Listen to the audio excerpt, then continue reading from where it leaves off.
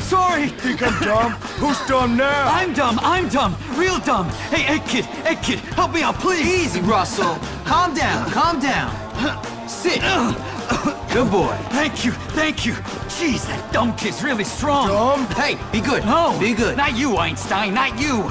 So, how did everything work out with those eggs? Not like I was hoping.